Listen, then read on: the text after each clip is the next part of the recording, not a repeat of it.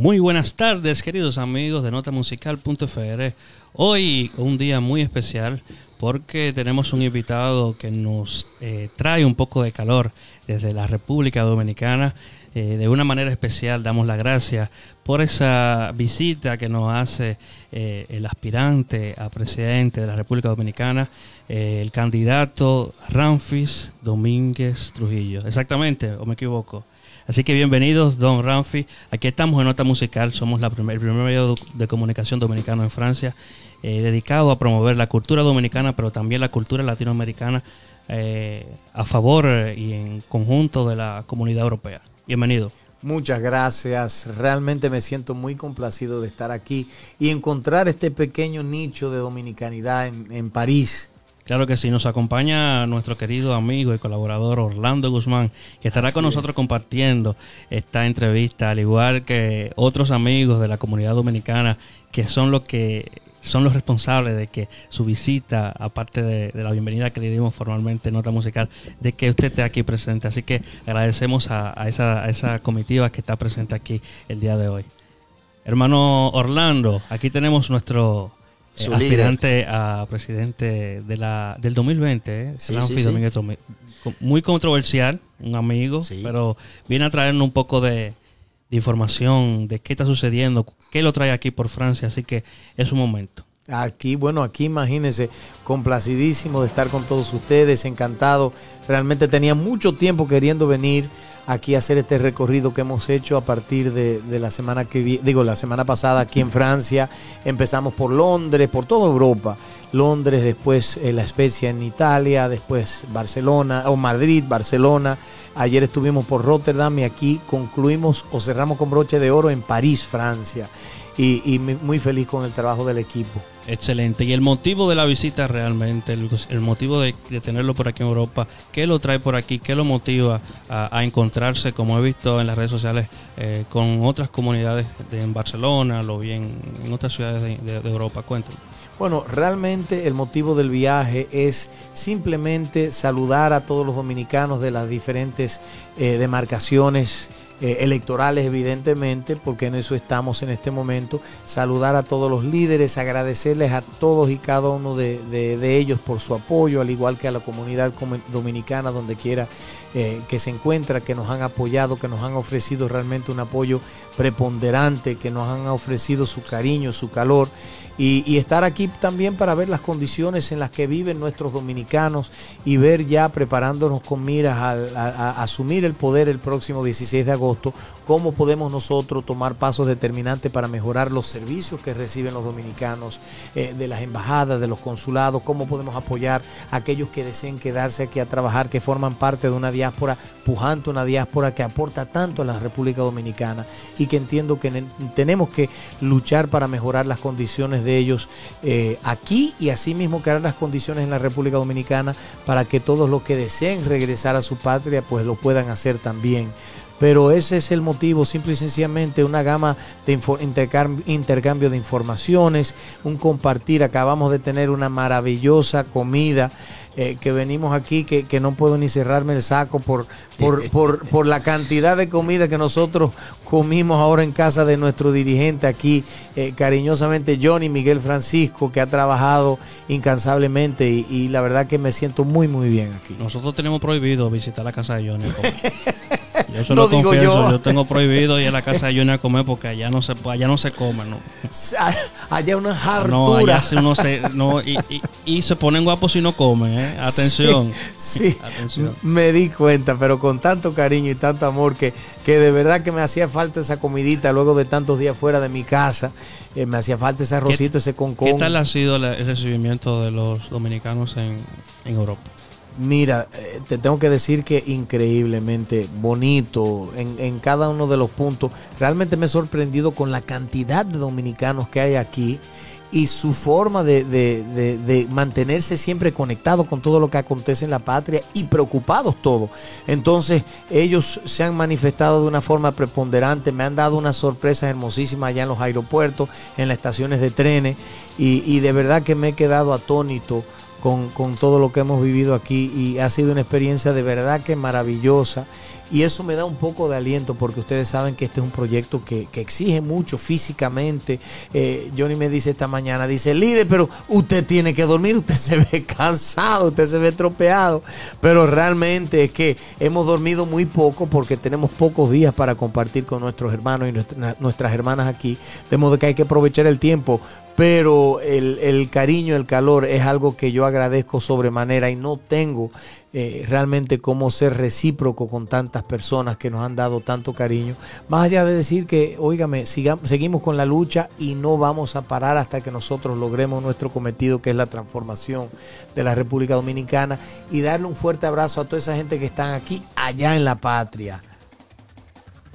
Bueno, ok, eh, mucho eh, bienvenidos sean todos eh, los ciberoyentes de notamusical.fr. Usted sabe, señor Ramfi, bienvenido. Ah, ¿Qué le parece? Ramfi, no, de eso de señor no me gusta mucho. ¿Qué le parece esta urbe, esta urbe con estos dominicanos, eh, la diáspora dominicana? ¿Qué le parece el país? Si nosotros nos hemos integrado bien a, a este país, ¿qué opina usted de eso? Bueno, mira, me ha complacido yo realmente me, he quedado muy sorprendido al ver la forma que se han aclimatizado los dominicanos aquí en Francia.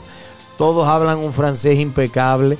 Todo el mundo sabe dónde queda todo. Esta mañana mi hermano Digno nos dio una, gira por toda la ciudad porque tengo un sobrino y un gran amigo que anda con nosotros aquí que no conocían, nunca habían estado en París y nos metimos por todos lados y me quedé sorprendido verdaderamente al ver la facilidad con la que se manejan, con el desenvolvimiento, que no es fácil. Y por eso es que yo digo que el ser dominicano es uno de los seres más excepcionales del mundo, porque pese a grandes vicisitudes, nosotros siempre dicen que nosotros siempre caemos parados. Y esa es la verdad. Y así, así mismo me quedé yo sorprendido en Holanda al ver la gente hablando holandés, que no es un idioma fácil de manejar. Y en Londres incluso empezamos la gira viendo a nuestros hermanos dominicanos hablando hasta casi con un acento británico. Y, e inmerso en la cultura y los conocimientos y muy adiestrado con el diario acontecer en esos países pero eso demuestra que somos un país que cuando se crean las condiciones, que cuando se nos, dan las oportunidades del lugar, nosotros echamos hacia adelante y podemos forjar nuestro propio camino. Y por eso es que yo siempre he creído tan firmemente en las virtudes, en la fuerza, en la preponderancia, en la determinación y la grandeza del pueblo dominicano. Usted sabe que hoy es el Día Internacional de la Juventud. Me, robaste la palabra. Yo estaba esperando un momento para saludar a todos los jóvenes y felicitarlos, pero bueno, ya, ya que estamos en eso, dale para adelante, Víctor. Bueno, la primera pregunta eh, está hecha por Keila Morel, una joven diplomada en República Dominicana. Ella le tiene una pregunta que dice que ¿qué propone usted para la educación y el empleo en República Dominicana en general? Y en especial los jóvenes que, que ya terminaron su carrera, lo cual es muy difícil de conseguir trabajo en sus áreas. Mira, esa es una pregunta muy amplia porque yo soy de los que piensa que para forjar una verdadera democracia lo primero que necesitamos es un pueblo educado. Yo he dicho que desde un principio nosotros vamos a designarle un 8% del Producto Interno Bruto a la educación. Hoy solamente tenemos un 4, un 4% que tuvimos que salir a las calles para exigirle al gobierno que lo designara. Yo mismo fui a, a varias protestas porque entendía que la educación era fundamental. El 8%, sin embargo, es lo que nosotros necesitamos porque hay que refundar el sistema educativo. Este 4% que nosotros vimos eh, asignado al sistema educativo se está dirigiendo única y exclusivamente a la construcción de planteles escolares por la gran cantidad de fraude que existe ahí por medio de las sobrevaluaciones. Nosotros necesitamos transformar la educación en la República Dominicana. Lo primero es que el 20% del cuerpo docente no tiene título pedagógico. Eso es imperdonable. Lo segundo es que nosotros tenemos un currículo que no se ajusta a las necesidades nacionales. Tenemos que retomar ese tema. Tenemos que empezar poniendo eh, una, eh, un orden, una disciplina en el sistema de, educación, haciendo que todos los jóvenes obligatoriamente tengan que estudiar, estudiar hasta el décimo segundo grado, porque necesitamos formar una juventud educada. Pero más allá de eso, si nosotros vemos los estudios de los problemas que existen al nivel educacional, por ejemplo, vemos que en Noruega tenían un problema amplio con el tema de la juventud y sobre todo la deserción escolar que es lo mismo que nosotros tenemos en República Dominicana, un alto nivel de abandono en la medida que van creciendo los muchachos. ¿Qué queremos hacer nosotros? Copiar el modelo de Noruega, donde ellos dicen que para para eliminar ese problema tienen que cerrar la brecha, la brecha social. ¿Y cómo lo han hecho ellos? Designándole, por ejemplo, a los jóvenes de medianos y de medianos bajos recursos un presupuesto para que luego del cierre de la tanda escolar ellos puedan participar en un deporte, tomar clases de computación, un segundo idioma, algo que sea ya una especie de, de, de, de pasatiempo que los jóvenes quieran practicar como una manera de despejar la mente. Y le han designado un, un presupuesto para ello. Eso ha funcionado de una forma increíble en Noruega y nosotros queremos llevar ese modelo allá a la República Dominicana. Asimismo vemos que los jóvenes cuando se gradúan, como bien lo señala eh, eh, nuestra amiguita que nos escribió, no encuentra empleo. Nosotros vamos a copiar un programa de Estados Unidos que se llama el programa de primer empleo, donde el gobierno va a subvencionar a, los, a las empresas privadas un 40, un 50, un 60% del salario de un, de joven universitario que esa empresa logre emplear. Porque así entonces la joven o el joven va a lograr adquirir, obtener la eh, experiencia que necesita entonces cuando se gradúan ya ellos van a poder insertarse al campo laboral sin ningún tipo de demora, sin ningún tipo de contratiempo. Y así la empresa gana porque tienen un empleado que ellos pueden formar, que ellos pueden capacitar y que están pagando simplemente un 40, un 30% de su salario, o sea que es una gran ventaja y para el gobierno. Entonces están resolviendo el problema de los jóvenes, donde hoy la juventud tiene un 35% de nivel de desempleo, es decir, de los jóvenes de 18 a 34 años de edad. Y es un problema que nosotros tenemos obligatoriamente que resolver para nosotros resolver el problema del desempleo, que está por encima del 20% para eh, la población en general y un 35%, vuelvo y repito, para la juventud, necesitamos dinamizar la economía. Y para dinamizar la economía, lo más lógico en la República Dominicana es implementar una gran reforma agraria. Hoy por hoy nosotros estamos utilizando simple y sencillamente 16% de las tierras hábiles para cosechar. Es decir, que estamos desperdiciando el 84%. Nosotros tenemos que obligatoriamente acaparar el 100% de las tierras hábiles porque hoy por hoy la incidencia del producto interno eh, en el o sobre el producto interno bruto de la agricultura es menos de un 6%, es 5,62%, que es inaceptable en un país que debe ser un país eminentemente agrícola. Entonces nosotros queremos erradicar la corrupción para lograr refinanciar entonces la deuda pública del país y el primer año poder invertir 4 mil millones de dólares de impulsar la economía para poner los agricultores a trabajar, para recapacitar a los agricultores, a los productores, creando escuelas de agricultura, dándole financiamiento para que ellos puedan comprar equipamiento con tecnología de punta para poder competir en el mercado internacional, lanzar una campaña masiva internacional para nosotros poder empezar a promover el producto país, el sello país de todas las frutas y los vegetales que nosotros producimos. Tenemos una gama de ideas de lo que nosotros necesitamos hacer en materia de educación y para impulsar la juventud. Y quiero aprovechar el espacio, si me lo permiten, Víctor y Alexis, para felicitar a todos los jóvenes y decirles que este país, nuestra República Dominicana, es de ustedes y ustedes son el relevo político Ustedes tienen la obligación y la responsabilidad de incursionar, de lanzarse al ruedo político y de formar parte de nosotros los que queremos un gran cambio, una gran transformación en la República Dominicana, pero quedándose de brazos cruzados, nada vamos a lograr. No tienen derecho a réplica y no pueden exigirle tampoco. La política es para todos y ustedes los jóvenes tienen que luchar para recuperar el país e impulsar esa gran transformación, la reconstrucción de la República Dominicana. Pero usted cree que eso le convendría al gobierno, a todos los estados, como se ve siempre que ellos no le interesa una cabeza pensante, porque usted sabe que una cabeza pensante es muy difícil de, gobernar. De controlar. De controlar.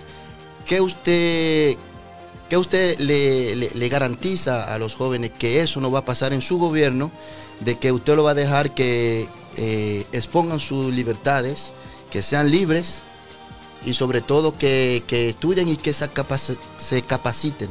Mira, yo creo firmemente en la democracia. yo soy producto de una de las mejores democracias del mundo eh, allá en los Estados Unidos. Esa fue mi formación ideológica, mi formación intelectual, mi formación eh, educacional y asimismo política.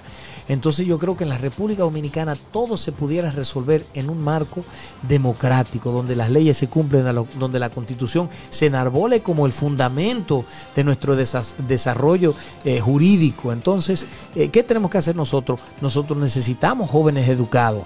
Ahora, ¿qué es lo que digo yo? Nosotros para la democracia necesitamos un proceso político que permita la alternabilidad del poder. Nosotros necesitamos impulsar el relevo. Yo, si Dios me da la, oportunidad conjuntamente con el apoyo del pueblo, ganamos en el 2020, como todas las expectativas y todas las, las informaciones hoy por hoy apuntan a esa gran victoria. Y yo le digo, yo si nosotros los primeros cuatro años nos va bien, hacemos, lo, hacemos cumplir nuestro mandato, eh, cumplimos con nuestro pueblo, pues ojalá me favorezcan con un segundo periodo. Pero más allá de un segundo periodo, señores, no es posible. Yo creo que tiene que ser dos periodos y nunca jamás. Entonces nosotros necesitamos por medio de ese sistema transformar los estamentos del poder y darle paso al relevo eh, político. Y necesitamos, vuelvo y repito, gente pensante. Nosotros necesitamos poner en manos de nuestros jóvenes la mejor educación posible para que puedan tomar decisiones sensatas, para que no vuelvan a incurrir en errores del pasado que vemos como tantas personas. Lo primero es que los jóvenes tenemos un nivel de abstinencia eh, eh, o abstención de voto, mejor dicho, altísimo porque los jóvenes han dicho, mira, nada me, en nada me afecta la política, yo por más que trate no voy a eh, seguir ganando campo, simple y sencillamente me tengo que valer por de mi propio esfuerzo y tengo que buscármela. Entonces, esa es una gran farsa. No podemos vender el voto por un pote romo, un picapollo, 500 pesos y pensar que el país se va a transformar. Tenemos que ser entes partícipes y, no solo partícipes, sino de liderazgo dentro de ese marco para poder echar el, país hacia adelante. Entonces, mi legado mayor después de ocho años, si nosotros eh, recibimos el beneplácito del pueblo, va a ser democracia. Y para eso necesitamos los, jóvenes educados. Yo no quiero un pueblo ignorante, porque eso no garantiza tampoco la perpetuidad de nuestra República Dominicana. Usted, como Orlando, gracias a Orlando esta intervención, eh, confirma que en, su, en un mandato suyo solamente será ocho años máximo. Máximo. Confirmado. Máximo. Máximo no, ocho no, años. No, no, es que yo no, no cree más, de dos mandatos. Yo no que, señores, mírenme esta cara. Ustedes creen que yo puedo más. No, no, no. Para hacer las cosas bien, si se van a hacer las cosas eh, a la brigandina, como decimos nosotros, bueno, podemos durar 20 años pero no se hace nada. En ocho años se pueden hacer tantas cosas y las grandes transformaciones que nosotros queremos. Eso con eso es más que suficiente y nosotros tenemos una gran responsabilidad que es dejar marcada la democracia en República Dominicana. Alguien me dijo hace un tiempo, bueno, Julito Hassim, yo le dije, Julito, ahí hay que blindar la democracia, hay que imponer el dos periodos y nunca jamás y blindarla. Y él me dijo, Ramfi, pero tú sabes que la democracia no se puede blindar. Y le digo que la constitución no se puede blindar. Le digo yo, sí se puede blindar en la conciencia del pueblo. Y nosotros tenemos ejemplos en los Estados Unidos. El presidente Barack Obama subió o salió del poder con un nivel de aceptación por encima del 70%.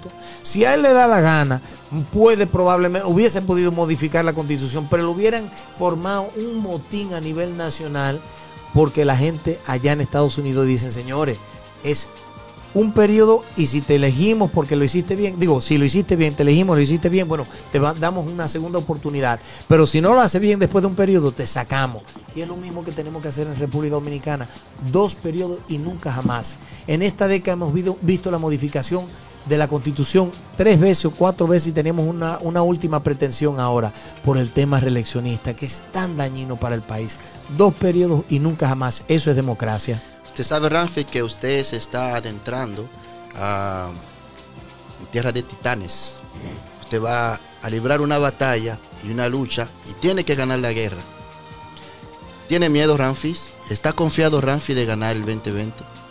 Mire, yo eh, cada día que pasa, cada acontecimiento político que yo veo, nada más que digo, no me canso de decirlo, gracias papá Dios, porque todos y cada, cada uno de esos acontecimientos nos señala como el próximo presidente de la República Dominicana.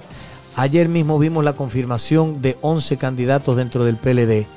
Ninguno de ellos pasa el, el, el, llega incluso al 1% del, de la intención de voto de ningún dominicano en todo el país. ¿Cuál sería el candidato con el cual usted iría más cómodo en una contienda? Ay, Dios mío, eso O el más incómodo, porque ya que usted me dice que ninguno llegan.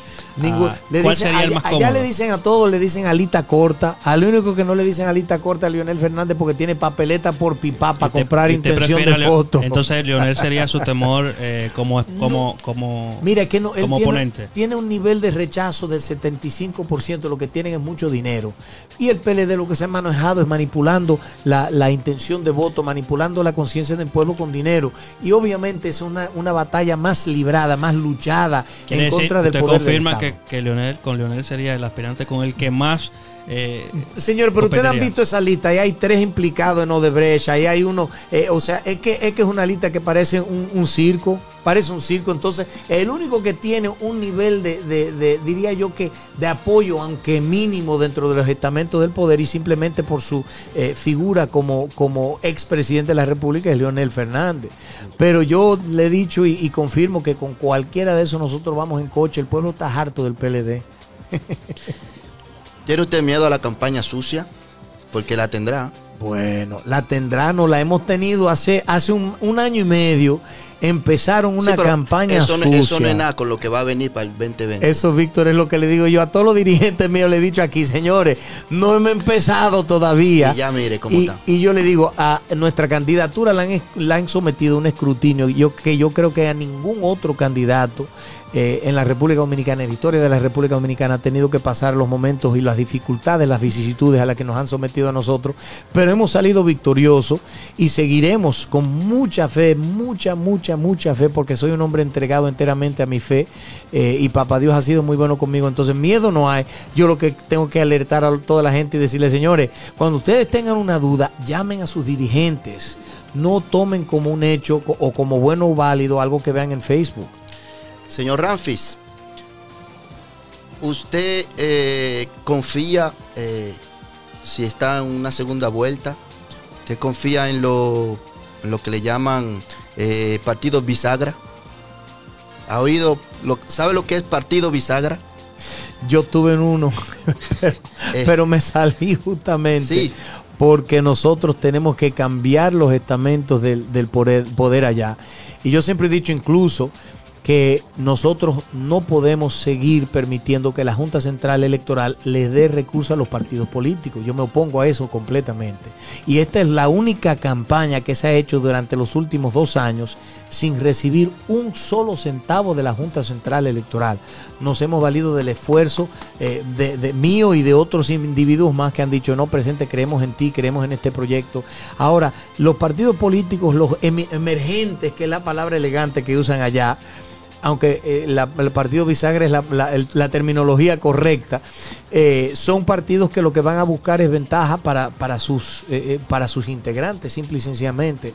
Entonces la confiabilidad en ellos es simplemente en la medida en que uno tenga suficiente fuerza para que ellos digan, mira, te vamos a apoyar porque confiamos en que tú vas a ser el próximo presidente de la República. en política es difícil confiar en nadie porque verdaderamente la República Dominicana tiene un sistema político totalmente corrompido, donde la gente ha demostrado que simplemente persiguen sus propios intereses y nosotros somos una nueva generación de políticos que está integrado, digo, eh, integrado sí en este proyecto, invertido completamente, pero por motivos patrióticos, no personales. Yo en lo personal eh, he dicho y mantengo que yo he mantenido una gran parte de este esfuerzo con recursos propios de mis empresas, porque a mí me preocupa lo que está pasando en el país. Y asimismo hay otros empresarios que han hecho lo mismo y han dicho, mira, Ramfi, creemos en ti, y muchos de ellos son dirigentes de este proyecto y han dicho presente. Ayer estuve hablando con mi padre y le dije que tenía, iba a tener una entrevista con, con Ramfis, que si quería hacerle una pregunta. O sea, si él podía responderme en la pregunta. Y él me dijo, no, mi hijo, mira, yo no le voy a hacer, no le voy a decir, no le voy a dar una pregunta, no le voy a, no le voy a preguntar nada, Rafa. Eh, aquí lo político no le interesa. Y me lo dijo así de, una forma, ya eh, me cansé. Aquí lo político no le interesa eh, el pueblo. Ellos hacen y deshacen y hacen lo que quieran, porque aquí, total, con dinero, aquí todo se puede. Eso es eh, el resultado de muchos años de política barata. Barata. de política asqueante. Y te voy a decir una cosa, por eso es que yo me rehusaba a incursionar en la política, porque esta es la primera vez que yo incursiono, que yo me lanzo al redo político porque justamente yo decía, señores, que la política es tan sucia para qué meternos en un campo. Y te digo que yo recibo esa eh, designación cuando a mí me dicen, mira, tú eres político, ahora a mí hasta como que se me revuelve el estómago un poco, porque no me gusta que me señalen como político, eh, porque es una mala fama que nos hemos ganado. Y te digo, mira, nosotros hemos hecho mucho esfuerzo de tratar de cambiar eso. Y yo le digo a todos los dirigentes míos, señores, mira, hay que demostrar que nosotros somos diferentes, pero nosotros no vamos a demostrar que somos diferentes cuando lleguemos al poder. Es, a, partir de este momento. No le hablen mentira a su gente. Si ustedes dicen que van a llegar a tal hora, lleguen a esa hora. Si ustedes entienden que van a poder cumplir con un compromiso, se comprometen. Si no, no lo hagan. Traten de hacer todo lo que ustedes dicen y ser ejemplo de lo que ustedes quieren en su liderazgo nosotros tenemos que mirarnos en el espejo todas las mañanas. Y yo mismo lo hago y digo, señores, ¿qué tal nos fue ayer? Hicimos las cosas bien hechas, hicimos todo lo que pudimos hacer para que las cosas quedaran bien. Si bien, entonces me siento satisfecho, si no, entonces corregir el proceso. Pero hay que demostrarle a la gente que son, eh, somos diferentes. Una de las cosas que yo he dicho, mira, yo no voy a hacer campaña montando, montando o montándome encima de una jipeta, pasando con 75 jipetas por un pueblo, con unas porristas delante, dando cerveza atrás y con una música delante. La gente no quiere eso. La gente quiere un político que los escuche, que les diga eh, eh, realmente, mira, estamos aquí luchando por ti. Por eso es que nosotros, eh, desde el momento que tomamos la decisión de incursionar en la política, decidimos caminar por todos los municipios del país. Y es lo que hacemos. Nosotros llegamos a los barrios, a las cañadas, caminamos puerta en puerta y miramos a la gente a los ojos y le decimos, nosotros estamos contigo. Y esa es la mejor fórmula para que la gente se pueda expresar. Es una desesperanza tan grande que vive el pueblo dominicano que solo una palabra de aliento, incluso en muchos casos, yo he tenido que aguantar mi pela lengua. Y que la gente me dice, pues ustedes los políticos, no sé. Y yo me quedo tranquilito, aguanto mi pela lengua. Y después le digo, usted tiene la razón. Pero yo estoy en esto porque eso hay que cambiarlo. Y el simple hecho de uno permitir que ellos se expresen, que ellos se desahoguen, ya les sirve como de una especie de terapia. Yo digo que yo a veces me convierto en un psicólogo de la política, pero hay que cambiar la política en la República Dominicana porque tenemos que demostrarle a la gente que la política es para servir, servir, no servirse de ella. Hace un minutico usted dijo que usted hizo, está haciendo campaña, o está haciendo los viajes, sin contar con la Junta Central Electoral. La Junta Electoral no le ha dado nada. Pero la Junta Central Electoral todavía no ha omitido si usted va a estar o no va a estar en la boleta. ¿No le da miedo eso que la Junta Central todavía no, no le ha dicho el visto bueno, sí o no? No, lo que pasa es que acuérdate, Víctor, que el plazo abre para la Junta. O sea, la Junta no puede recibir ningún tipo de candidatura hasta el momento nosotros tenemos que esperar hasta el 27 de agosto, que es el plazo en que la Junta ya abre sus puertas y dice, bueno, todos los que quieran ser candidatos se pueden presentar. Pero no es simplemente yo aparecerme en la Junta y decir, aquí estoy. Es un proceso que nosotros tenemos que superar por medio de, las candidaturas, elegir los delegados del partido, hacer una gran convención, la proclamación de la candidatura y entonces ahí se presenta ante la Junta. Ahora, yo siempre he dicho y mantengo aquí, eso de que Ramfi Domínguez Trujillo no se puede postular, esa es una farsa, un, alimentada simple y sencillamente por el PLD que ha querido desarticular el proyecto. Yo desde el primer momento que salí ese dije, anda la porra, nadie se va a creer eso. Sin embargo, ha calado y por eso es que ellos han mantenido alimentándose esa versión de los hechos porque ellos vieron el crecimiento vertiginoso. Lo primero que se inventaron es que yo me robé 5 millones de dólares de una institución gubernamental. Yo le dije, señores, yo me pongo a la disposición de, la Procuraduría. Si es verdad que yo me robé esos chelitos, sométame a la justicia. No lo hicieron y se le fue tumbando esa teoría. Ahora, esa teoría de, que si yo puedo, que si no puedo, se le va a caer ahora porque el plazo es hasta el 27 de octubre y ya en ese momento la gente van a darse cuenta de quién es que o de quién es que se han estado eh, eh, aprovechando, a quién es que han estado burlando y de la forma en que nosotros vamos a fortalecer la candidatura, le va a dejar claro que fue una metida de pata, porque hay mucha gente aguantada esperando ese momento y eso viene muy pronto. ¿No tiene Ramfi eh, una persona que le pise la cola? No, es que yo, óigame, es que yo, yo no he hecho absolutamente nada de que avergonzarme a lo largo de mi vida. Yo he tenido un comportamiento enteramente decoroso. Todo lo que he hecho, eh, he sido un libro abierto. Al contrario, yo, yo creo que para mí eh, es un privilegio poder servirle a mi pueblo y poder abrir mi casa y mi- mi- mis papeles y mis cosas, decirle buscan ahí porque ahí no hay nada. Nosotros no tenemos compromiso con nadie ni con la que nos pisen. Y ese es el problema porque ellos saben que nosotros somos insobornables. A mí me han tra- tratado de comprar ya, me han ofrecido de todo. Yo no me vendo y la gente lo sabe. El gobierno, el presidente Medina, el PLD sabe que yo no me vendo y a eso es que ellos le tienen miedo porque todo lo demás, responsablemente lo digo, no hay un solo político que no tenga cola que le pisen o que no tenga un contrato con el gobierno, que no tenga un canchanchan que esté trabajando en los estamentos de poder, poder o que no se beneficien y reciban dinero del gobierno. No lo hay, todos están comprometidos. ¿Está limpio usted? Totalmente, totalmente. Y así voy a morir, totalmente limpio, porque esto no es para mí, este es por el país.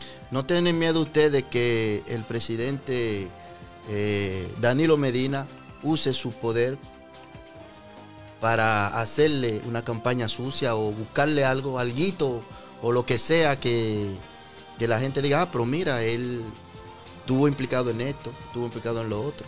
Ellos podrán inventar lo que ellos quieran. El que tiene que tener miedo es Danilo Medina, porque tiene todo un pueblo que está enfrentando sus pretensiones y las pretensiones de volver a postular a un partido que ha sido tan dañino como lo ha sido el PLD para el país. Ellos tienen miedo porque ellos saben que el pueblo se está manifestando y está apoyando con una fuerza preponderante este proyecto de Dios. Ellos sí están asustados, nosotros no nos, no nos asusta. Lo que estamos locos por tirarnos a la calle para hacer el- lo que la gente quiere, que es ese mano a mano con todo el país. Mm, señor Ramfis, continuamos con la pregunta. Hay personas que están comentando en las redes sociales y se hacen preguntas que quisiera que comparto con usted para que le dé una respuesta. Claro. Y la, la primera pregunta que nos hacen, ¿qué hará con la delincuencia en República Dominicana y los presos? Esa es la pregunta. ¿Qué hará con República Dominicana? Ya luego me responde y le hago otra pregunta para, para Mira, hacer dinámica. el tema de la delincuencia es sumamente eh, eh, importante para la República Dominicana. Lo primero que nosotros tenemos que hacer es transparentar la justicia. Y estoy hablando muy rápido porque es un tema muy amplio y no quiero demorarme mucho. Pero el tema de la justicia es muy importante. Yo he dicho que en un gobierno de Ramfi Domínguez Trujillo nosotros vamos a transformar el sistema de justicia en la República Dominicana y poner a los jueces que sean elegidos por el pueblo. Porque esa es la forma de garantizar su transparencia. Pero más allá de eso tenemos que resolver el tema socioeconómico, que es lo que tiene el país viviendo en una zozobra porque no pueden sustentar a su familia. Y cuando un hombre no puede darle de comer a su familia, va a ser capaz de hacer lo que sea. Lo tercero que nosotros tenemos que hacer es reformar la, la fuerza policial. Nosotros vamos a darle 50 mil pesos a cada uno de los agentes policíacos porque nosotros entendemos que ellos son los guardianes de la seguridad del pueblo y nosotros tenemos que erradicar la corrupción en esa fuerza, recapacitar a esos integrantes, darle di- vida digna a cada uno y la posibilidad de comprar una casa propia, seguro de vida y un sinnúmero de cosas para que gocen de condiciones de vida aptos para ¿Y los servir pueblo presos? ¿Qué piensa hacer con los presos? un sistema de reforma penitenciaria. El, el sistema que nosotros tenemos ahora es un sistema de castigo. Tenemos que construir un sistema de reforma. Incluso los reos en un sistema, en un gobierno de Ramfi Domínguez Trujillo, se van a poner a trabajar. Nosotros tenemos que hacer que ellos asuman responsabilidad, que ganen su dinero y que ahí mismo, desde adentro de las cárceles, mantengan a sus familias también. Tenemos que dejarle claro. Y así mismo vamos a, vamos un modelo de Estados Unidos que se llama el halfway house, donde cuando un reo cumple su condena, no se va a insertar directamente en la sociedad, sino que va a haber una casa media, como le dicen, un punto medio, donde ellos van a vivir ahí unos tres o cuatro meses, van a simplemente ir a trabajar y tienen que regresar ahí para ver el proceso de reinsertarse en la sociedad, a ver si vamos bien. Tenemos, tenemos muchos programas para eso. Otra pregunta que nos hacen, ¿cómo piensa desligar el sector judicial con el político? Eh, ya que hay una pudredumbre en el, en el Estado eh, y que, se considere una persona seria es un reto.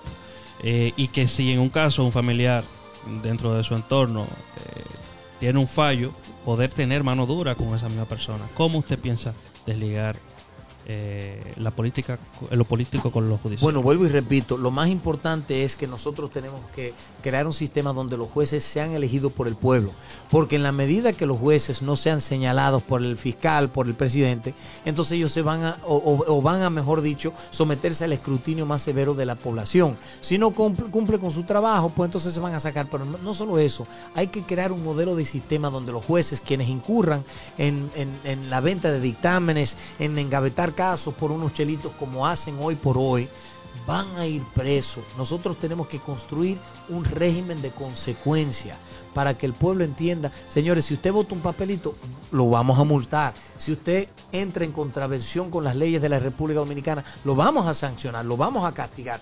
Hoy por hoy, ustedes ven la falta de conciencia en la República Dominicana cuando ve que una gente que anda libremente en la República Dominicana y es capaz de tirar una funda de basura de su carro en cualquier parte del país, llega esa misma persona a Estados Unidos, no son capaces de tirar ni un alfiler porque saben que en Estados Unidos existe un régimen de consecuencias, te multan. Eso es lo que nosotros tenemos que hacer, concientizar y crear un modelo democrático.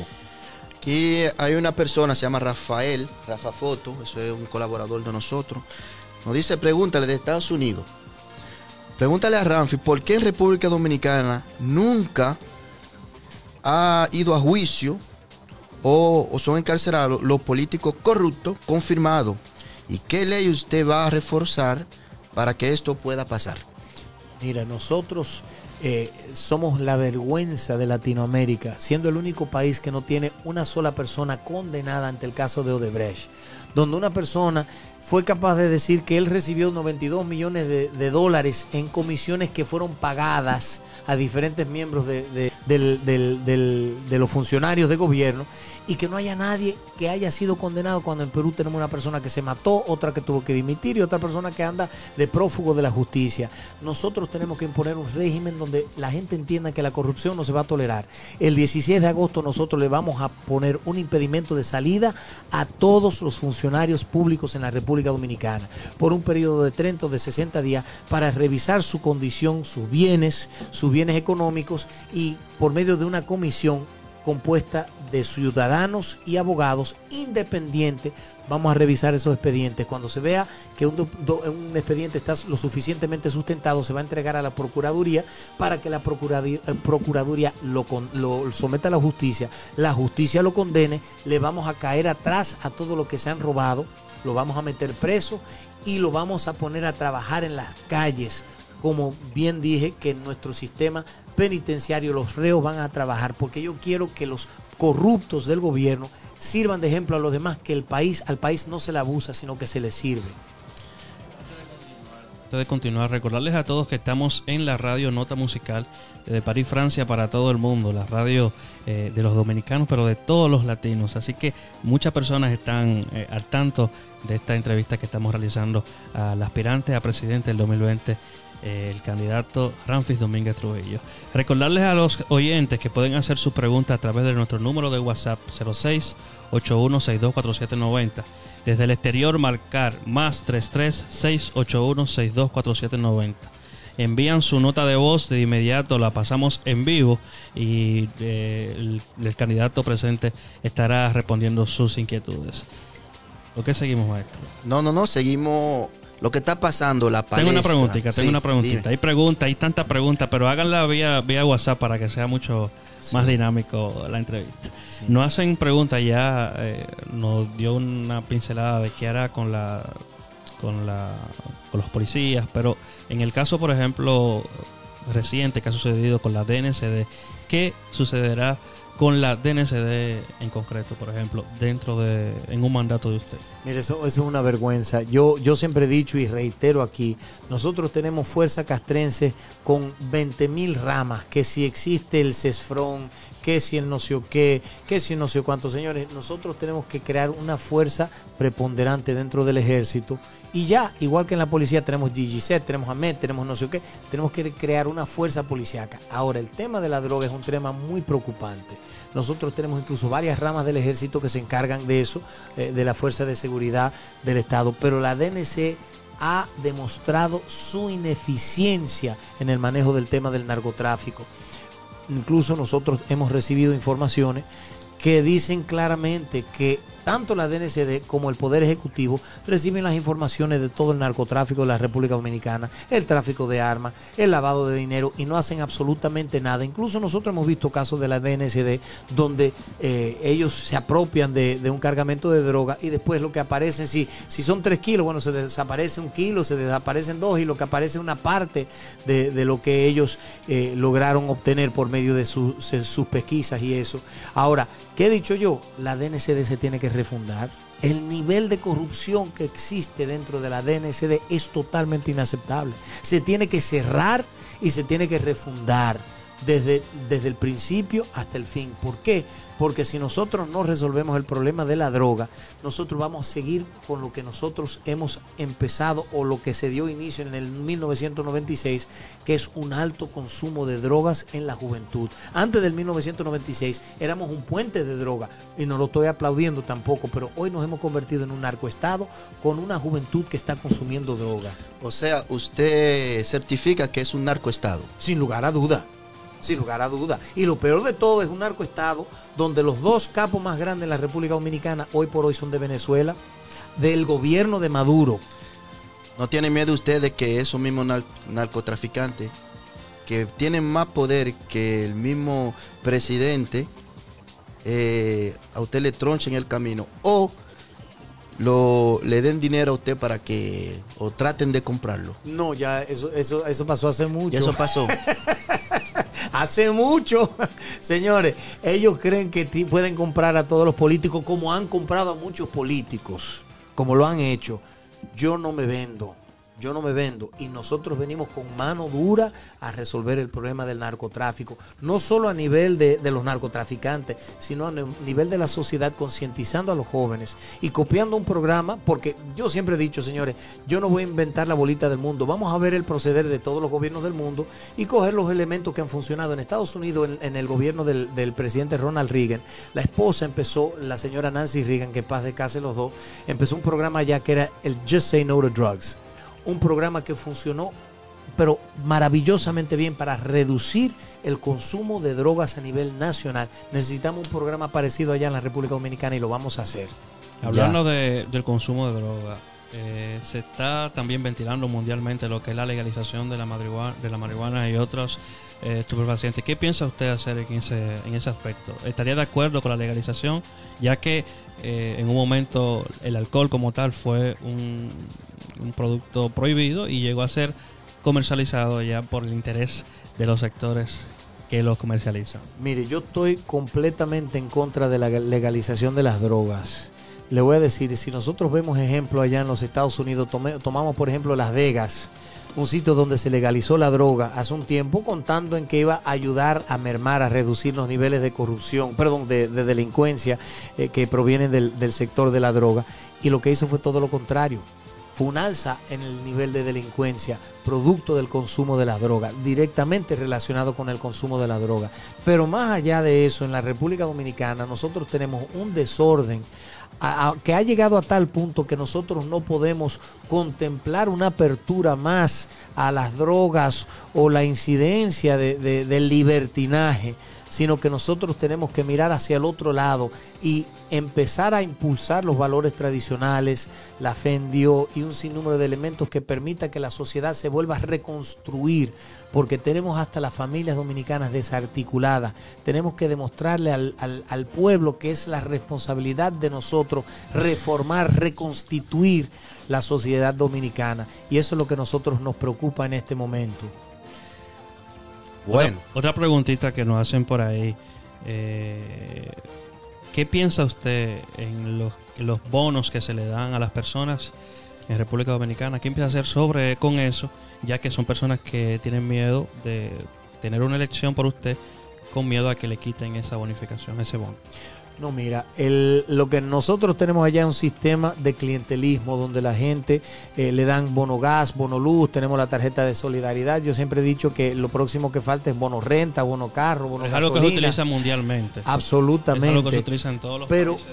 El, el problema es que nosotros tenemos que dar ese tipo de ayuda, primero que a las personas que realmente tengan esa necesidad, pero como una ayuda temporal Es decir, yo por ejemplo la tarjeta de solidaridad, ¿qué es lo que vamos a hacer nosotros? Duplicar la ayuda, porque la ayuda que le dan es insuficiente. Ahora, quien reciba la tarjeta de solidaridad, nosotros vamos a imponerle un criterio y eso es que tienen que ir a educarse tienen que ir a una escuela de tecnificación. Y cuando concluya ese proceso de tecnificación, van a tener que salir a la calle a buscar empleo y nosotros vamos a trabajar en aras de crear una economía que le dé a cada uno de los dominicanos las oportunidades de lugar. Pero las personas no se van a quedar de brazos cruzados en su casa recibiendo su chelito, al menos que sufran de algún tipo de discapacidad. Pero si hay un sistema, un modelo económico donde todo el mundo tenga la posibilidad de trabajar, claro que vamos a ayudar porque nosotros queremos sacar a todo el mundo de la pobreza.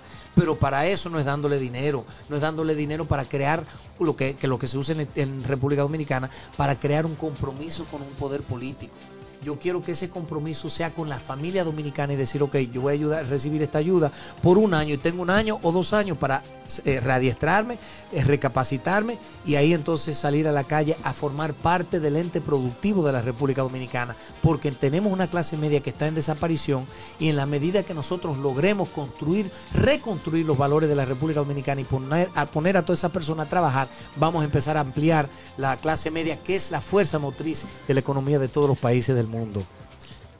Bueno. hablando un poco del exterior, nos hacen preguntas, ¿qué piensa usted hacer con los salarios de los eh, funcionarios diplomáticos? Están bien, están muy altos, están muy bajos. Hay que ayudarlos. Cuéntenos un poco. No se ría, diga, diga. No, óigame, es que a mí me da, risa, ¿eh? mira, es que es que es risible, es, penoso. Yo no sé si llorar o reír o reírme cuando tocamos esos temas. Mire, allá en Nueva York hay que hay creo que son 42 vicecónsules. Y yo creo que quizás dos o tres trabajan y los otros viven allá en República Dominicana y no cobran. El nivel de, corrupción en el Ministerio de, Relaciones Exteriores ha llegado a un punto que, que da asco. Da asco.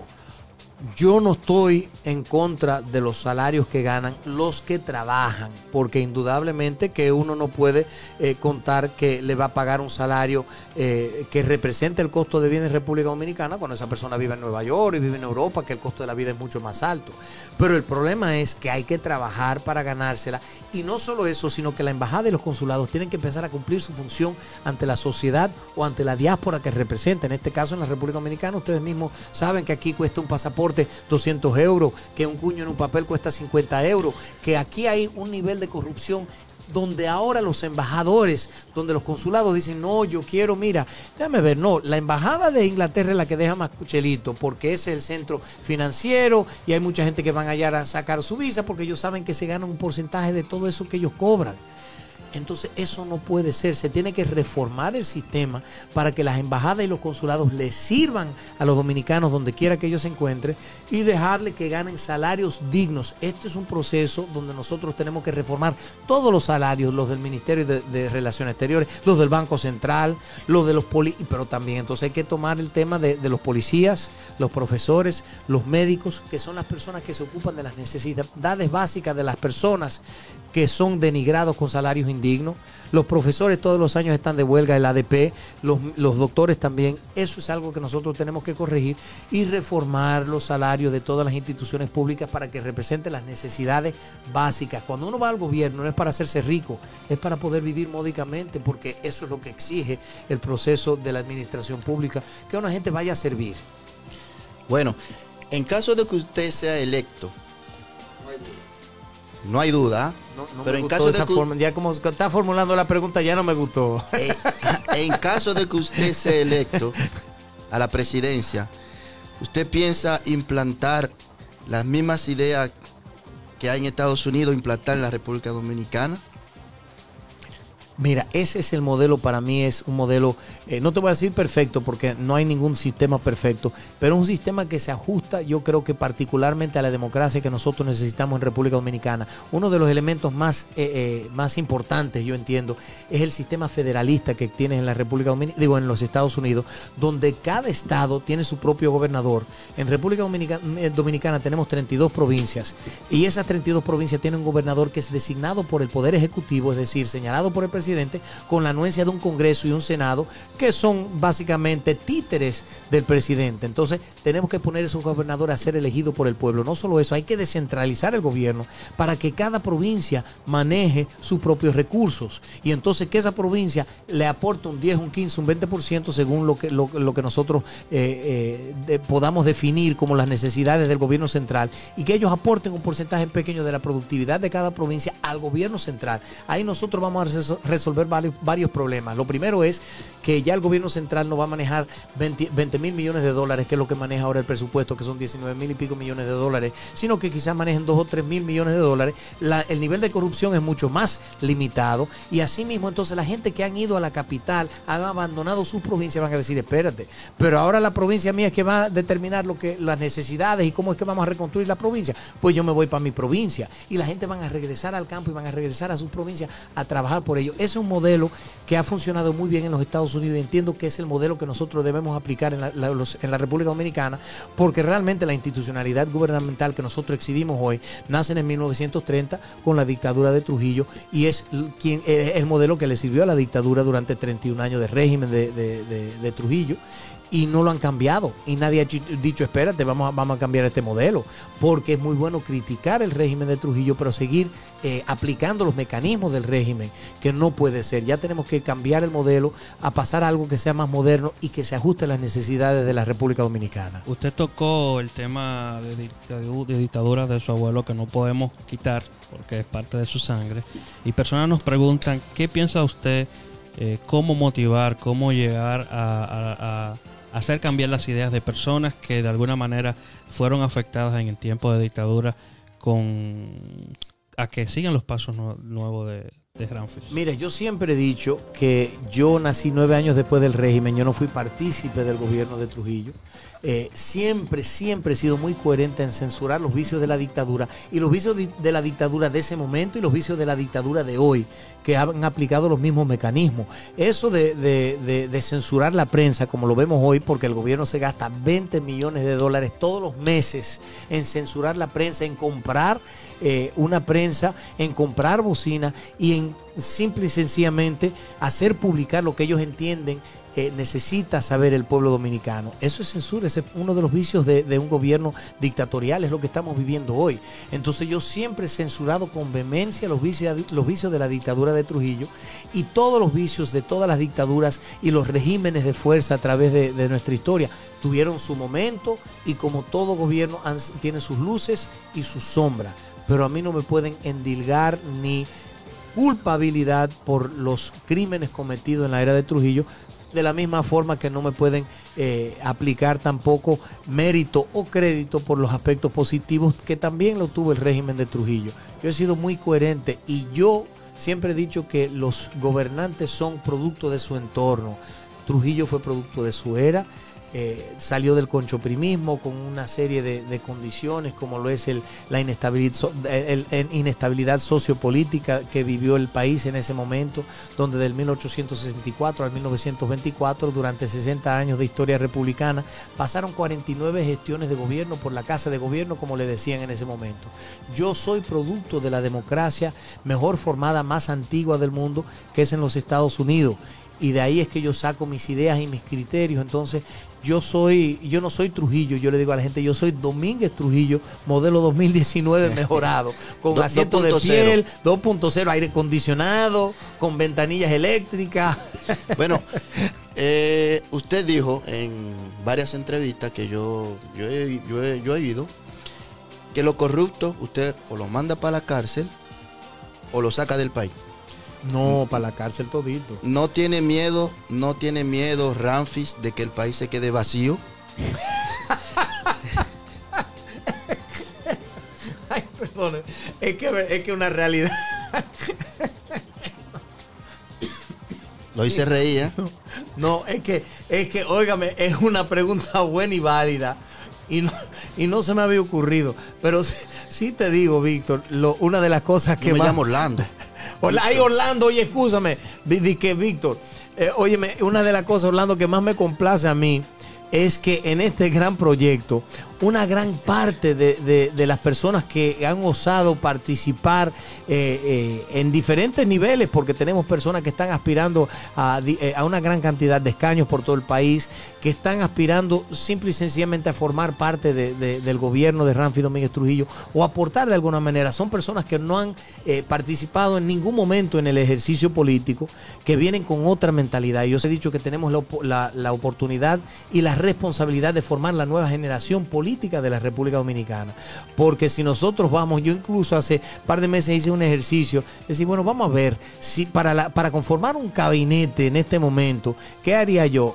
Y yo dije, señores, andamos muy mal, andamos muy mal. Pero más allá de eso, yo, hay mucha gente en la diáspora que se han formado fuera del país, en, las, en las mejores universidades, que hay que invitar a formar parte de un nuevo modelo de gobierno porque son personas sobre todo que se han formado en democracia, que han estudiado en democracia, que han estudiado los mecanismos del gobierno de la democracia. Y yo quiero que esas personas regresen al país y que formen parte del gabinete del gobierno de Ramfi Domínguez Trujillo. Una de las cosas que nos inquieta saber, ya que Orlando formuló esa pregunta de que si se quedará vacío el país, es que dentro del pensar, estaría, eh, ¿qué porcentaje del empresariado dominicano está apoyando la candidatura de Rafi porque de eso dependerá también eh, un, un, posible y buen mandato, porque sin el apoyo de los empresarios, que son los que ah, en conjunto de la comunidad deciden quién es el presidente en cualquier, en cualquier estado, en cualquier país. Eso es así. Sin el empresariado no se puede ah, trabajar. Tú sabes que nosotros hemos recibido el apoyo moral para, ser claro, el apoyo moral, porque nosotros no hemos recibido dinero del, empresariado. De empresarios de mediano, de mediano, mediano alto, sí hemos recibido apoyo económico, pero de los grandes, de las grandes familias, de los grandes empresarios, no. Sí hemos recibido el apoyo moral de muchos de ellos y yo sé que muchos de ellos al ver ya el crecimiento y cuando ya se haya definido bien el campo político, que vean los números reales de nosotros, muchos se van a querer alinear.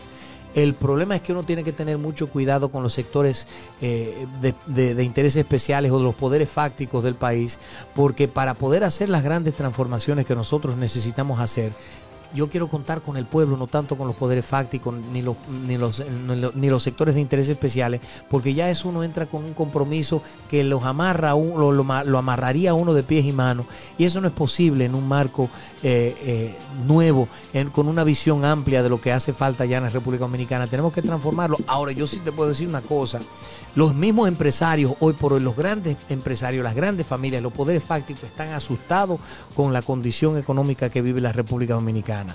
Y en ese sentido yo sé que cuando ellos ven los estudios económicos, ven nuestras propuestas económicas, ven la, posibilidad de, fortalecer eh, el, sistema de justicia, cuando ven la estabilidad económica que va a resultar producto de, este cambio, eh, este, esta transformación del modelo económico, yo sé que todos se van a alinear y que van a apoyar eh, lo que son los, las iniciativas que nosotros tenemos en mente para dinamizar la economía y hacer crecer el Producto Interno Bruto de manera orgánica y realmente ver que el tema del manejo de la divisa, del peso dominicano, ha sido completamente inorgánico, porque dice ser que, el, cambio ahora está al 50 por 1, que no es así con el dólar, es mucho más alto que eso, mucho más alto que eso y ellos lo saben.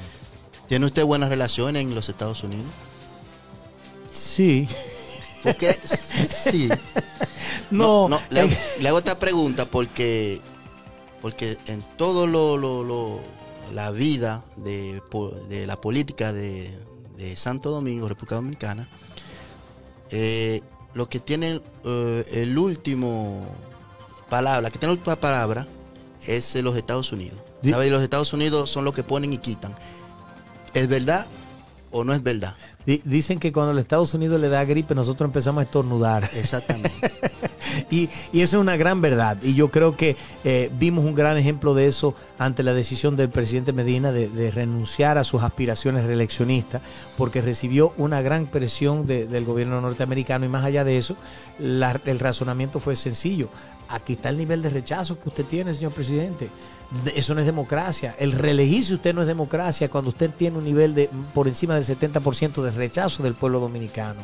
Entonces, entendemos que sí, ellos tienen una gran incidencia. Aparte de eso, son los que manejan la deuda entera de la República Dominicana, que hoy eh, está por encima del 50, de 52 mil millones de dólares.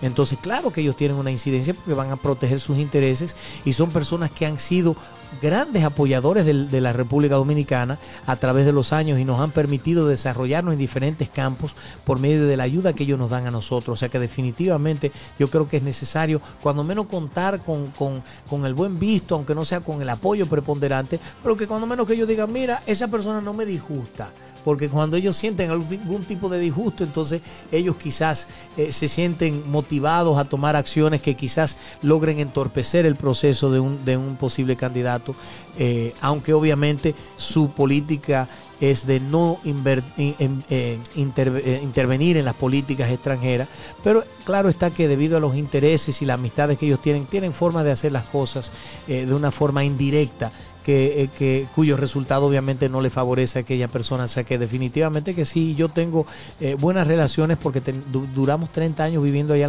en los Estados Unidos, llevando una, llevando una vida decorosa y desarrollando empresas allá.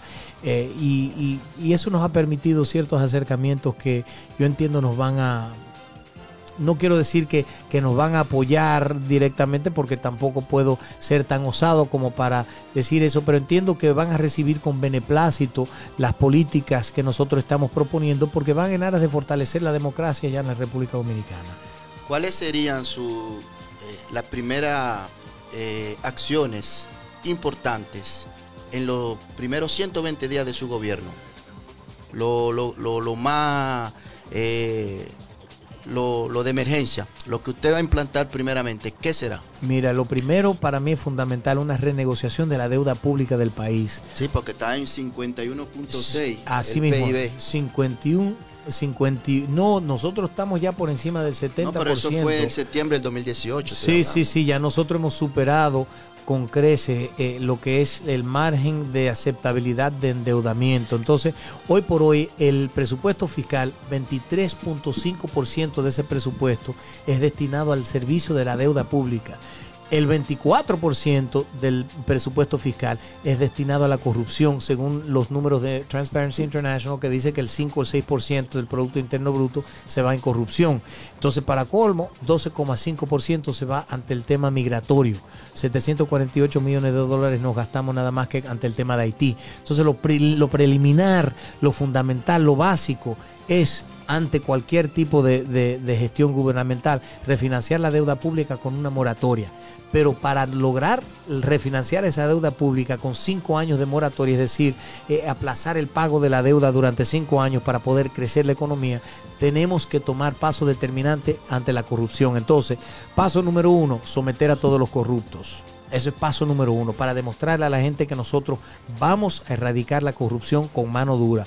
Paso dos, refinanciar la deuda pública. Paso tres, empezar la, repatriación de todos los nacionales asentados de manera ilegal en la República Dominicana que lo vamos a hacer como uno de los pasos fundamentales para empezar a limpiar un poco y quitarnos un poco del, peso económico que tenemos encima. Paso cuatro, revisar el tema de, lo, de las cargas impositivas, bajar el ITEVIS al 10%, quitar eh, el anticipo, quitar asimismo la carga impositiva que le ponemos sobre la materia prima que llega a la República Dominicana. Pasa cuatro, digo paso cuatro, nosotros tenemos que impulsar el campo y tenemos que invertir 4 mil millones de dólares en impulsar el campo por medio de una reforma masiva que nos va a permitir crear nuevas fuentes de ingresos para poder eh, realmente empezar a pagar la deuda pública para así volver a solventar nuestra soberanía. Yo diría que con esos pasos ya nosotros empezamos con buen pie y ahí vamos a poder buscar los fondos necesarios para reformar la educación, reformar la, la salud del país, apoyar a la juventud de una forma preponderante, crear las condiciones para que todas las mujeres puedan vivir en la República Dominicana con igualdad de condiciones. Pero lo primero es fundamental, transformar los estamentos del poder y ya más adelante entonces vemos las otras grandes transformaciones. Pero con esos primeros pasos yo creo que vamos bien. Dicen que el poder corrompe. ¿Tiene miedo de, de corromperse? Mira, lo que pasa es que en la medida que uno nunca ha tenido un bienestar económico, Claro, cuando uno se llega eh, a encontrar con, con, la bonanza económica, uno dice, mierquina, pero esto sí es chulo, poder viajar en primera clase, poder comprarme una casa, poder hacer esto, poder, hacer lo otro, y lo que ha pasado con el PLD. Cuando esa gente entraron al poder, tuvieron en el 96. en el 96, pidieron trajes prestados porque no tenían trajes para ir a la toma de posesión, pidieron carros prestados porque no tenían carros. La gente de esa que hoy ven con aviones y carros eh, lujosísimos, andaban en chancleta, andaban en chancleta, andaban en cepillito. El presidente Leonel Fernández ahora tiene la hija aquí comprándose carteras de 15 mil dólares como si fueran un, un magnate. Entonces, esas son cosas que nosotros no podemos permitir. En mi caso, gracias a Dios, con mis altibajos, porque soy una persona que ha vivido de mi trabajo, con el sudor de mi frente, he tenido mis problemas económicos como todos, eh, pero he logrado superarlos, he logrado reconstruir mis empresas cuando he tenido la necesidad de hacerlo y nunca me he privado de, ningún tipo de, de lujo que he querido, aunque yo soy una persona muy sencilla, pero cuando he querido un carro bueno lo he hecho, cuando he querido viajar lo he hecho eh, y de, de, toda la vida. Yo, yo vengo a Europa una vez al año con mi familia eh, y hago muchas cosas producto de mi trabajo. Entonces, a mí el poder no me, no me va a lograr embaucar, a mí el dinero tampoco me entusiasma, yo estoy en esto por un fin patriótico. Lo que sí le pido a Dios todos los días que me conserve la humildad y todos los elementos propios de mi carácter que yo sé que van a servir para transformar a la República Dominicana. Una de las cosas que, que nos vienen, siguen preguntando, ya usted comentó que era con los ilegales, no, no hacen precisión exactamente que era con los vecinos de la hermana, de la hermana, Isla. hermano país eh, haitianos. Bueno, lo primero es que yo he dicho siempre que tenemos una situación muy dura. Tenemos más de 3 millones de haitianos asentados de manera ilegal en la República Dominicana ante una población de dominicanos de 11 millones. Entonces, ya ha llegado un punto inaceptable. ¿Qué tenemos que hacer nosotros? Nosotros tenemos no solo el derecho, sino la responsabilidad de ordenar los estamentos de nuestra política migratoria. Tenemos que empezar un proceso de repatriar a todos los nacionales haitianos asentados de manera ilegal en la República Dominicana. Lo vamos a hacer muy decentemente. Con la camiona. Nosotros vamos a hacerlo, no, vamos a ponerle camioncito si le preocupa eso. Vamos a hacerlo con camiones con aire acondicionado, con televisión, muy cómodamente, respetando los derechos de cada cual, porque no podemos, esto no es un asunto ni de xenofobia, ni de racismo, ni de antihaitianismo. Es un asunto de que, señores, nosotros no podemos cargar con el peso de esa migración. Si viviéramos en un mundo perfecto, donde todos los dominicanos gozaran de lo que nuestra constitución nos garantiza, vivieran económicamente bien, no estuvieran pasando hambre, bueno, yo digo, vamos a ayudar a nuestros vecinos vecinos, eh, eh, porque realmente yo soy una persona de fe cristiana y entiendo que hay que ayudar al prójimo. Pero lo primero es que hay que ayudar a los nuestros y hay un nivel de pobreza altísimo en la República Dominicana. Hay dominicanos que se mueren por eh, asuntos de, condiciones de insalubridad y una cantidad de cosas tan nocivas que están afectando directamente a la sociedad dominicana. Eso me preocupa a mí más. Entonces vamos a sacarlo a todo de una man manera humana, respetando los derechos de cada cual, pero hay que sacarlo a todo. Luego de eso, los que quieran venir a trabajar, porque sí necesitamos la fuerza, la mano de obra haitiana pero que vengan con un permiso de trabajo donde se puedan eh, señalar, sepan dónde están, dónde viven, orden y disciplina. Y entonces sí vamos a imponerle a las empresas de allá que tienen que cumplir con la ley 8020, que exige que la composición de cualquier empresa sea 80% dominicano y 20% de cualquier parte del mundo. Y más allá de eso, luego de haber solventado esa crisis que tenemos hoy por hoy, donde recibimos más de 544 parturientas todos los meses, consumiendo un gran cantidad, una gran cantidad de los recursos de salud, vamos a construir un muro de norte a sur porque tenemos que proteger presentes y futuras generaciones de esa invasión. Tenemos que ordenar la casa. Y yo he dicho, y, le, lo reitero hoy, que todos los organismos internacionales, las ONG que nos ayudan a nosotros, que ayuden a Haití, que ayuden a reconstruir Haití, que no nos den nada. Nosotros podemos, bajo nuestro propio esfuerzo, reconstruir la República Dominicana, pero que vayan, ayuden a Haití a reconstruirse. Y nosotros vamos a hacer eso. El muro va a costar entre 500 y 700 millones de dólares. ¿Quién lo paga? El pueblo. El Estado. El Estado. Si nosotros nos gastamos 2.100 millones de dólares todos los años en los haitianos, esto se va a pagar una sola vez y es igual a una tercera parte de lo que nos cuesta esa invasión. Pero más allá de eso, vamos a ahorrar muchísimo dinero en el control del narcotráfico que entra por la frontera, en el eh, tráfico de armas que entra por la frontera, en el lavado de dinero que entra por la frontera y asimismo el contrabando que entra en la frontera que muchos grandes empresarios incurren en el acto, acto delictivo de entrar mercancía sin pagar impuestos por la frontera. Y vamos a fiscalizar eso, vamos a poder controlar lo que entra y sale de la frontera. Perfecto. Vamos a, vamos a escuchar una nota de voz. ¿Qué te parece? Antes de eso, eh, Ramfis, eh, ¿aceptaría usted que le leyera una efemérides? Claro. Para la efeméride de hoy, un día como hoy de 1961. Perfecto. Es inaugurado el monumento dedicado a la memoria del dictador Rafael Trujillo, en el lugar donde había sido abatido la noche del 30 de mayo de ese año. Increíble. Al, oír usted esa palabra, esa efeméride, ¿qué piensa usted? No, mira, que qué triste que luego de, de haber cerrado el capítulo de una dictadura, hoy por hoy estemos frente a una dictadura aún más férrea aún más criminal, aún más delincuente que está acabando con el país, que está matando a los dominicanos todos los días, que mantiene empoderado a un grupito de insolentes que son lo menos es delincuente porque son antipatrióticos y traidores a la República Dominicana ante un proceso que pudo haber servido para transformar la República Dominicana en un país enteramente democrático. Hoy, a los 60 años casi, estamos ante una lucha realmente férrea para lograr imponer una verdadera, verdadera democracia en la República Dominicana. Excelente. Vamos a escuchar esta nota de voz, que es una pregunta más que nos hacen a través de nuestro WhatsApp 0681624790. Buenas tardes. Mi pregunta es la siguiente. ¿Qué piensa hacer usted acerca del crimen y cómo enforzar mejor la ley en la República Dominicana? Y también, ¿qué opina acerca de aquellas personas que no quieren dar el voto suyo por su mala experiencia con su abuelo. Personas que ya han sido traumadas o marcadas de una forma u otra.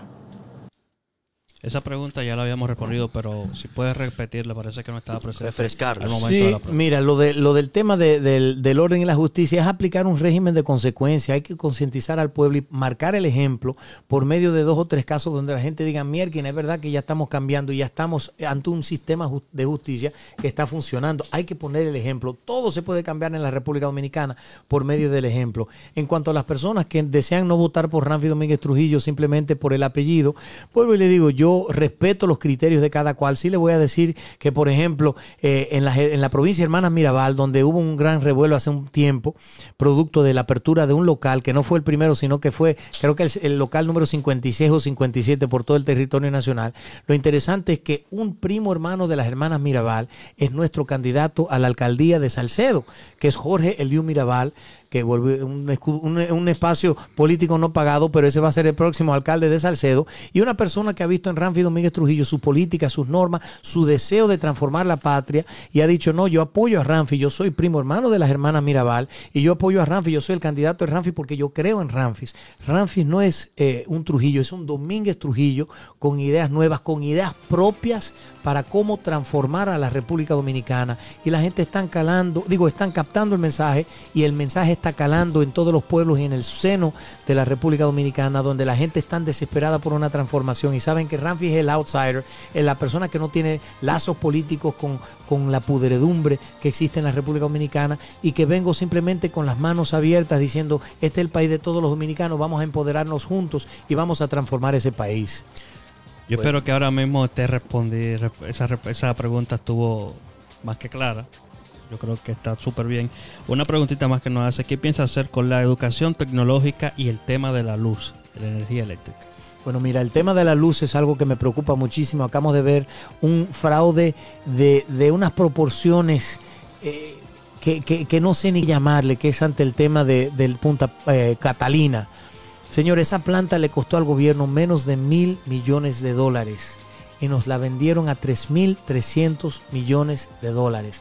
La gente el otro día estaban, óigame, totalmente atónicos, atónitos porque dice que hubo un fraude de 49 millones de dólares en comisiones. Esta gente son unos verdugos y quisieron tirar esa bolita para ponerla a correr de que 49 millones de dólares para que la gente se escandalizara. Y yo decía, señores, pero no son 49 millones de dólares. ¿Qué pasó con los 2.300 millones de dólares en sobrevaluación de esa obra? No han dicho nada. Ese contrato es un contrato doloso y nosotros vamos a revisar todos los contratos que, ah, eh, que se hayan firmado en las últimas gestiones.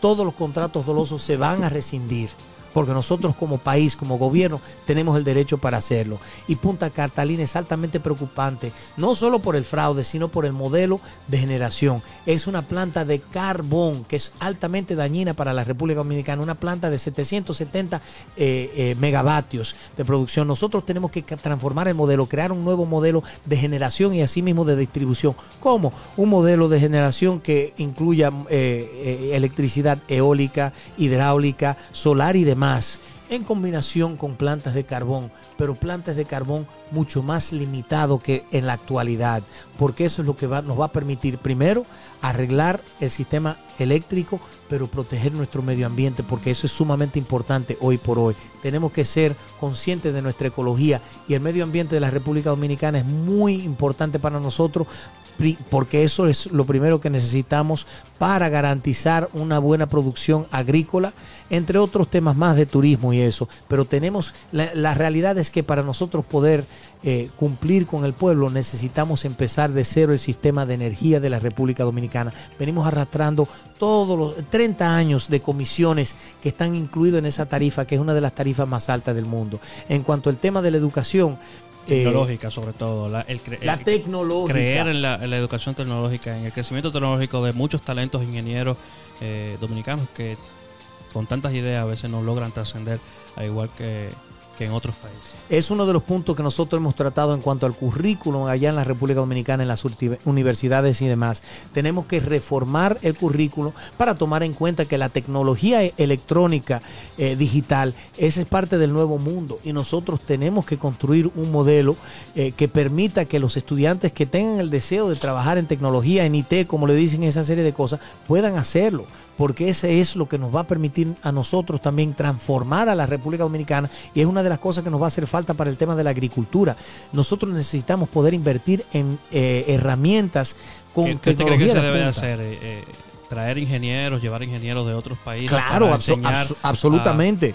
Nosotros queremos llevar ingenieros, por ejemplo, en la agricultura hemos visto grandes modelos eh, tecnológicos. Incluso eh, les puedo adelantar que en el mes de noviembre, si Dios lo permite, estaremos viajando eh, a Israel a invitación del gobierno para nosotros estudiar las grandes virtudes del sistema agrícola allá en, Israel, donde se han valido o se han sabido valer de la tecnología del, más adelantada del mundo entre otras cosas más, para transformar el sistema. Igual en salud, igual en educación. Necesitamos la tecnología en la República Dominicana. Bueno, ya casi llegamos a la parte final de esta entrevista con el invitado especial del día de hoy, el candidato a la presidencia 2020, Ramfis Domínguez Trujillo.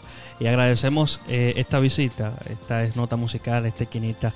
Esto es una embajada más de República Dominicana y de Latinoamérica en sí. Antes de terminar ya la última pregunta, ya que estamos en suelo extranjero, eh, ¿qué mensaje, qué, qué, qué, motivación eh, deja usted para los dominicanos que viven en Europa, especialmente en Francia? Por ejemplo, ¿cuál será, qué, plan tiene con, con los dominicanos que viven en el extranjero? Mire, yo siempre he dicho que la fuerza de la diáspora eh, dominicana a través del mundo es preponderante. Un dato interesante que siempre eh, me gusta traer a colación, las exportaciones totales de la República Dominicana eh, hacen un monto de 4.800 millones de dólares. Las remesas que nosotros recibimos de la diáspora son igual a 6.200 millones de dólares. Es decir, que las remesas sobrepasan la cantidad de nuestras exportaciones por 1.400 millones de dólares. La diáspora tiene la fuerza de hacer lo que le dé la gana ya en la República Dominicana. Y la diáspora tiene que exigir servicios y elementos del gobierno que protejan los intereses y favorezcan a los miembros de la diáspora. Aquí nadie conoce quiénes son los, dos eh, diputados de ultramar que están trabajando a favor de los dominicanos. Nosotros hemos viajado, ya venimos de, cuatro países y en todos los puntos hemos preguntado y me han dicho, no, no lo conocemos. ¿Qué han hecho por ustedes? Absolutamente nada. ¿Qué es de las promesas que hicieron? No, no han cumplido. Entonces nosotros tenemos que empoderar a la diáspora para, para que puedan hacer lo que ellos necesitan. Lo primero es, si los de la diáspora pueden regresar a trabajar dentro de un marco de oportunidades en la República Dominicana, nosotros vamos a crear un modelo económico que les permita hacerlo, porque tenemos muchos que son exilados jubilados económicos que quieren viajar a su país, que quieren retornar a su país, que se quieren volver a mudar a su país. Y el modelo económico que nosotros estamos proponiendo y que vamos a lograr impulsar a partir del 16 de agosto del 2020 va a ser justamente eso, un modelo que permita que todos esos que, que puedan regresar, los que quieren ir de visita, pues vamos a crear condiciones de seguridad para que puedan regresar y no tengan que temer porque les roben un celular o que lo maten para quitarle 500 pesos. Nosotros propusimos y me alegré muchísimo cuando vi que el gobierno una de las propuestas nuevas o nuestras, que fue de crear un seguro para que las personas de la diáspora que fueran a República Dominicana tuviesen cobertura. Ahora hay que ampliar un poco esa cobertura porque lo que están proponiendo y lo que han pasado por medio de, una serie de, de reformas de leyes no es suficiente. Hay que mejorar eso. Pero cuando menos tenemos ahí un primer paso. Lo otro es que hay que permitir que los que quieran regresar puedan llevar dos carros sin carga arancelaria y asimismo una mudanza sin ningún tipo de, carga impositiva. Lo otro que nosotros tenemos que hacer es hacer cumplir el trabajo del Ministerio de Relaciones Exteriores, donde el pasaporte sea suficiente para cubrir los gastos de la embajada, donde el gasto de, de, poner un cuño sea suficiente para cumplir, pero no para enriquecer al embajador que el designar a una persona en una embajada, en un consulado, sea un orgullo, un honor, un privilegio para esa persona, no un señor una posición para buscársela, porque ya salen de esa embajada y viven de por vida de sus negocios, entre comillas. Así no. Las embajadas son para servir a la diáspora. Si un artista quiere eh, hacer una exhibición, es la diáspora que tiene que, perdón, es el consulado, es la embajada que tiene que responder por eso. Si a un dominicano lo meten preso, ustedes saben qué, es la embajada que tiene la responsabilidad de revisar el expediente, de ver si necesitan apoyo, de buscarle un abogado. Eso es una embajada que cumple y eso es lo que nosotros vamos a hacer. Cero botellas, cero, corrupción para que la diáspora disfrute verdaderamente de los servicios del Ministerio de Relaciones Exteriores. Yo creo que la respuesta Sí, bueno, candidato Ramfis, gracias por eh, haber eh, eh, todas las preguntas que se le hicieron, le hicimos, me dicen que muchas gracias por responder a tan positiva mi pregunta. Gracias. O sea que está satisfecha de, lo que dice y seguro es una, una votante, una futura votante. Mis amigos, nosotros como jóvenes les exhortamos a todos los dominicanos de no ir al futuro, no, pensar, no ir al pasado, no, pensar, no pasar el pasado, el pasado ya pasó, sino enfocarse en lo presente ¿ah? y de votar y seguir con, con, el futuro, el futuro, porque a lo mejor Ramfis es el futuro. Bueno, yo quiero aprovechar eso para felicitar a todos los jóvenes en el Día Internacional de la Juventud y decirles de nuevo que ustedes son propulsores de esta, transformación, porque es por ustedes que estamos luchando, por mis hijas que son parte de la juventud y todos los muchachos. Ayer estuvimos en una actividad en Rotterdam y en todas las actividades aquí de Europa estaba lleno de jóvenes la actividad de ayer y todas las actividades así. Ustedes son el futuro de la República Dominicana y por ustedes que estamos luchando. Que Dios me lo bendiga a todos y a ustedes de la diáspora. Ahí tienen su patria. Luchen por ella. Ustedes tienen la fuerza para hacer las grandes transformaciones y forzar que el gobierno haga lo que ustedes necesitan porque ustedes tienen que empoderarse y hacer esas grandes transformaciones una gran realidad para todos.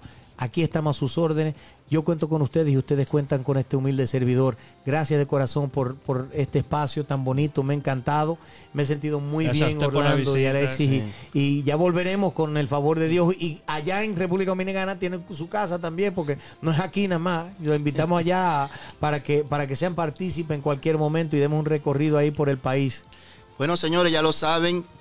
No preguntes lo que tu país puede ser por ti sino lo que tú puedes hacer por él. Así que ya lo saben, John F. Kennedy, 1961. Así es, bendiciones para todos. Muchas gracias, Ramfi, muchas gracias a todos los que se hicieron presentes, gracias a los que estuvieron en sintonía con nosotros y hicieron todas sus preguntas. Espero que estén satisfechos. Eh, seguimos con la programación diaria de Nota Musical, seguirnos en nuestras redes sociales. Así estamos. Si usted, mucha gente nos pregunta, ¿cuándo la candidatura, si escuchamos una nota de voz, eh, cuándo será inscrita?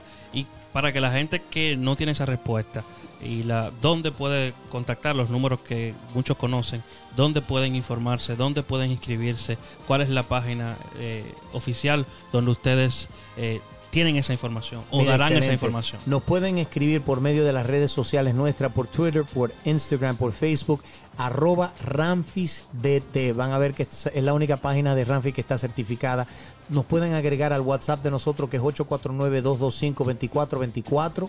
Cualquier pregunta que puedan tener en torno al, a las elecciones, donde inscribirse y demás, pueden llamar al 809 o mandarlo por WhatsApp 809-704-6720. Pueden entrar en la página RD de República Dominicana 2020.com para inscribirse para este proyecto y asimismo entonces buscar la página de nosotros que es ranfispresidente2020.com con cualquier otra información. O sea que ahí estamos todos completos y los esperamos, señores. Esta patria, nuestra República Dominicana, vale la pena. Vamos a luchar por ella. Todo por la patria, siempre. Bueno, pues muchas gracias y así concluimos con la entrevista del día de hoy. Esperamos que le haya sido de su agrado y seguimos con notamusical.fr. Un aplauso. Bye.